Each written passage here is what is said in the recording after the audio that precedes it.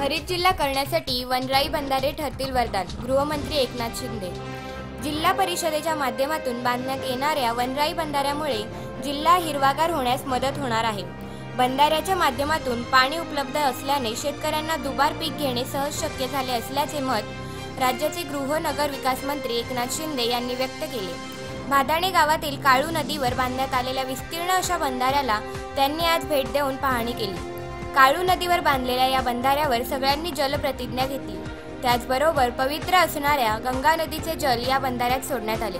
यावेळी जिल्हा परिषद अध्यक्ष दीपाली पाटील मुख्य कार्यकारी अधिकारी हिरालाल सोनवणे उपाध्यक्ष सुभाष पवार उपमुख्य कार्यकारी अधिकारी अशोक पाटील मुरबाड गट विकास अधिकारी विश्वनाथ केळकर तसेच जिल्हा परिषद पंचायत समिती सदस्य आदी मान्यवर उपस्थित होते.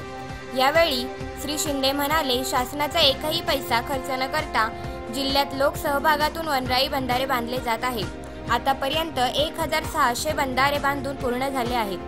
आपल्याला जास्तीत जास्त बांधारे बांधावयाचे आहेत त्यासाठी लोकांची एकजूट महत्वाची आहे. लोकसहभागातून विकासाचे हे उत्तम उदाहरण असल्याचेही त्यांनी सांगितले. मुख्य कार्यकारी अधिकारी हिरालाल सोनवणे यांच्या सकल संकल्पनेतून दोन ऑक्टोंबर दोन हजार एकोणावीस रोजी बंधाऱ्याच्या मोहिमेला सुरुवात करण्यात आली. तेव्हापासून आजतागायत पाचही तालुक्यात बंधारे बांधले जात आहेत.